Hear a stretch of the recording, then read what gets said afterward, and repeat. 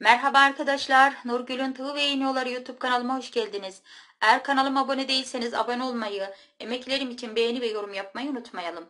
Sağ alt köşedeki kırmızı abone ol butonuna basarak abone olabilir, zil butonunu açarak da çektiğim videolardan haberdar olabilirsiniz. Evet arkadaşlar, gördüğünüz bu iki renkten şöyle sade tek renk kahverengi bir yemen olarak düşünün arkadaşlar. Bu şekilde birinci sırasını yapıyoruz. İkinci sırasını da beraber yapacağız. Tabii ki ilk önce bu şekilde ikişer zincir çekerek tığ battıları hazırlıyoruz. Sonra bu iki kulaklı örümcekli birinci sıra, ikinci sırada zincirli tacımızı yapacağız arkadaşlar. Şimdi modelimizin yapım kısmına geçelim. Sık iğne ile buraya tığ battının içine girerek başlıyoruz.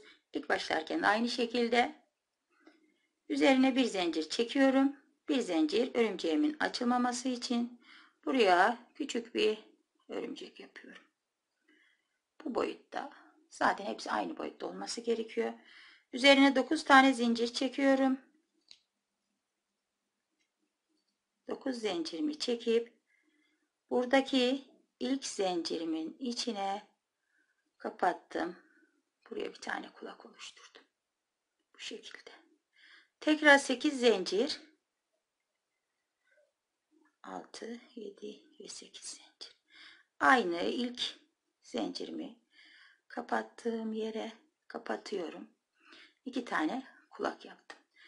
Bir tane zincir çekip ilk yaptığım örümceğin büyüklüğünde şöyle ipimi çekip arasından geçip örümceğimi yapıyorum. Örümcek yapımını biliyoruz arkadaşlar. 3 tane tığ battı atlayıp dördüncü tığ battıma yaptığım bu örümcekli kulaklı modeli kapattım. Şimdi bir tane zincir çekiyorum.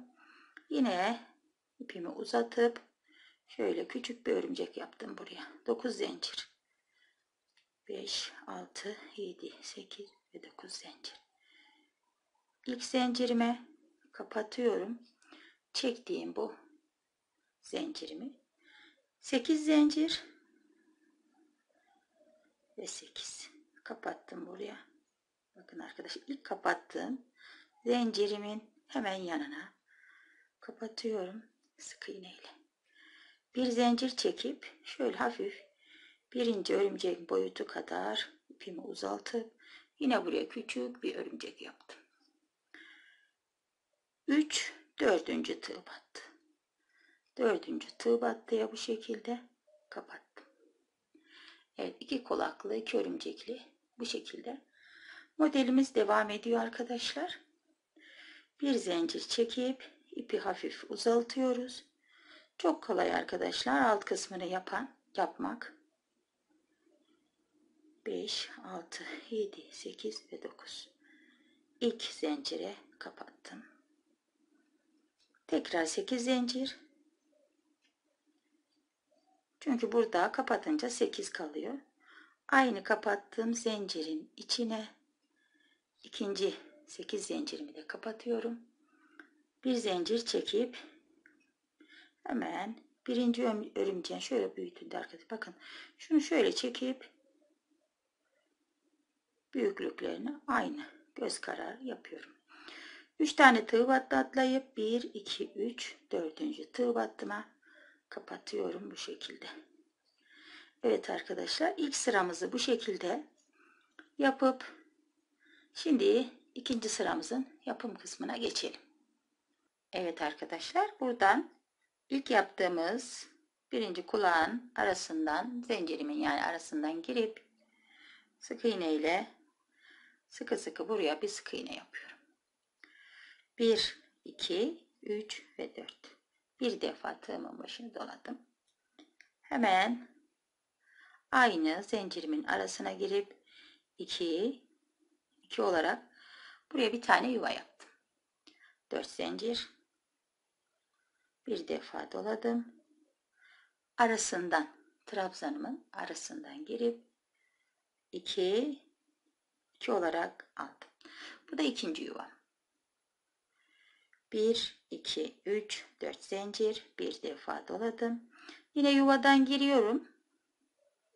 2, 2 olarak aldım. Bu da üçüncü yuvam. Tekrar 4 zincir. Bir defa doladım. Yuvadan giriyorum. 2, 2 olarak aldım.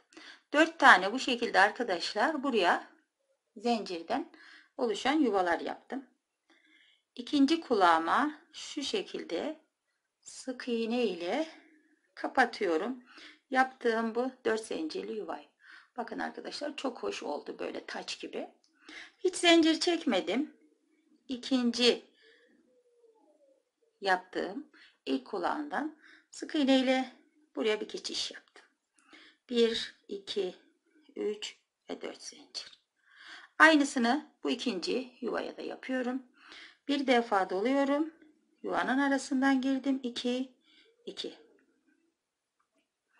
4 zincir. Bir defa doladım.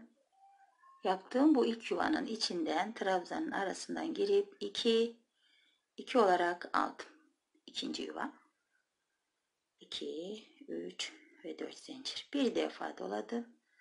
Bu trabzanın arasından girince arkadaşlar bakın şu şekilde trabzana yakın ortasına yakın yapmaya çalışırsanız bakın bu şekilde açık açık bir yuvalarınız olur. Böyle seçik. İçerisine tığ falan sokmadan rahat bir şekilde görünür vaziyette kullanabilirsiniz. 1, 2, 4 zincir. Bir defa doluyorum.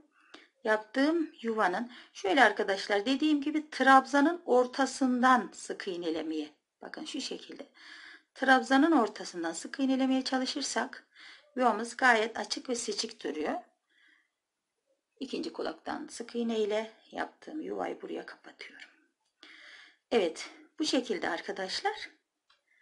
Bakın duruşu çok hoş oldu. Şimdi diğer yuvaya da sık iğne ile buraya geçiş yapıyorum. 1, 2, 3 ve 4 zincir. Bir defa doladım tığımın başına. Yuvaya girdim. 2 2 olarak aldım. 1 2 3 4 zincir bir defa doluyorum. Yuvaya da girip 2 2 olarak aldım. 3 4 zincir bir defa doladım. Yuvanın içine dediğim gibi arkadaşlar trabzana yakın doğru yaparsak Şöyle yuvalarımızın zincirleri açık ve seçik gözükür. 4 zincir bir defa doladım. 2 2 olarak aldım.